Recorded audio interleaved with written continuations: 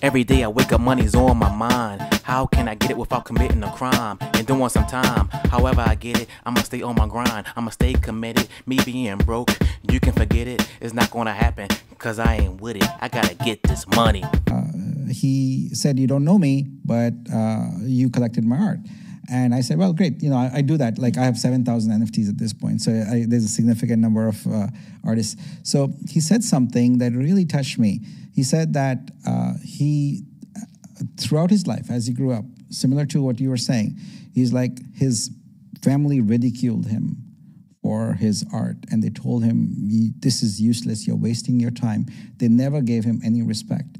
He said, but the day you bought my NFT, I went and showed my dad how much money I made and, you know, converting it to Indian currency. And he said, from that day, I, it, my life has changed. They started respecting me a little bit more and don't ridicule me any anymore, you know? So that was very touching for me, is that my simple act of buying a simple art NFT artwork transformed someone's life. Kind of crazy how artwork can change somebody's life, right? That was a dope clip uh, from Nik Kalyani talking about how he purchased artwork from an individual. Now let's get into this price chart, guys. You know we didn't have it. We're not on DEXTools. We're not on DEX Screener.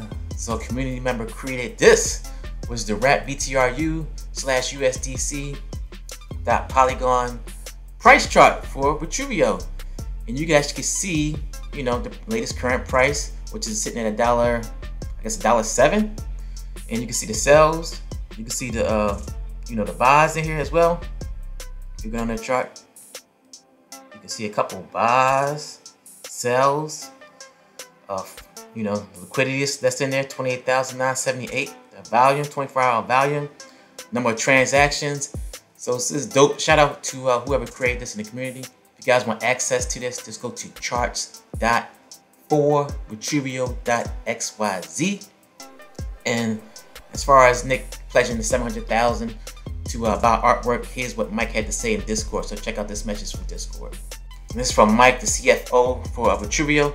He says, uh, trust, we're not going to dump 700,000 VTRU on the open market. Obviously, we have a plan. Uh, this is Nik taking care of the creators and setting them up for rev share staking and brings creators into the eco space as there have been several marketplaces that have gone out of business and this is a user acquisition strategy coupled with rewarding early adopters. This also creates volume that we need for a CEX listing and additional transaction volume for validators. Nik is jumpstarting the chain. Every decision Nik executes is to push the blockchain forward to CEX listing. Hope that helps.